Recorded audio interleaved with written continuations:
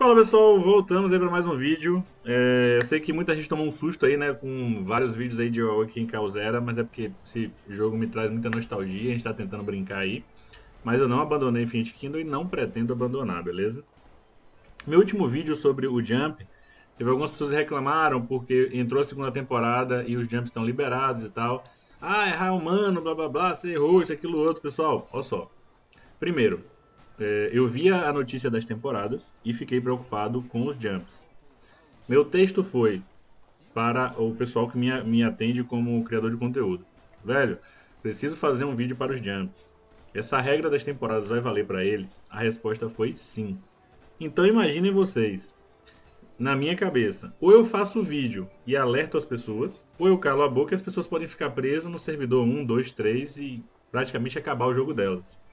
Por esse motivo eu resolvi fazer o vídeo. Quando o pessoal questionou, é, isso vai valer para o Castelo 8? A resposta que eu tinha era sim. É, virou a temporada. Os jumps se mantiveram normais. O pessoal me questionou, eu fiz a mesma coisa. Questionei lá o pessoal que responde pra gente. Eles ficaram também na dúvida, questionaram as pessoas acima deles. E aí hoje a gente teve aqui o retorno. Veio para minha eu tenho uma caixinha lá que eles ficam me respondendo. E aí veio para mim o seguinte, ó. Ainda não obtivemos uma decisão final sobre a migração do Castelo 8, mas confirmaram que se for limitado essa migração, haverá um período de 3 ou 4 semanas e haverá o anúncio. Então, ou seja, é como se eles tivessem assim, ó, eles fizeram a regra, fizeram as temporadas, mas esqueceram dos Castelo 8, deixaram liberado. Entendeu? Então, quando surgiu a polêmica, o pessoal, oh, e aí, vai ter, não vai ter, vai ter, não vai ter, eles não decidiram ainda. Então, eles estão pensando se vão haver limitação, se vai haver alguma limitação ainda. Se houver, eles estão prometendo aqui coisa de 3 a 4 semanas de antecedência, eles vão avisar e vão aguardar esse período para que vocês se preparem, o que é um ponto positivo, mas até então os Castelo 8 estão fora da regra de temporada seu jump pode ir para qualquer servidor por enquanto, até eles tomarem essa decisão aí, beleza? Então, teve gente, ah, não, dois ou três pularam e tal. Eu acho que vale mais a pena quem pulou e não correu o risco de ficar preso, porque, porra, você tá. Ah, meu jump vai ser de 100 dias. Você pula com 80, não pulou ideal.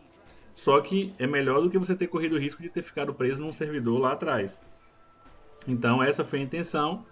É, se alguém foi prejudicado, era a informação que eu tinha, então infelizmente, desculpem aí nesse sentido. Mas minha preocupação foi não deixar ninguém trancado lá atrás nos servidores iniciais é, e acabar desanimando do jogo, ok? É, o que, é que a gente tem? Vamos ter uns códigozinhos aqui.